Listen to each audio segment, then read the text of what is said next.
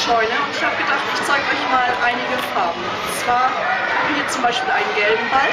Gelb zeige ich so. Oder rot. Das ist ein blauer Ball. Da male ich so Wellen von oben nach unten. Grün zeige ich so. Das Gras, das sich bewegt. Und dann haben wir noch Orange. Orange. Und hier ist noch ein weißer Ball. Stop.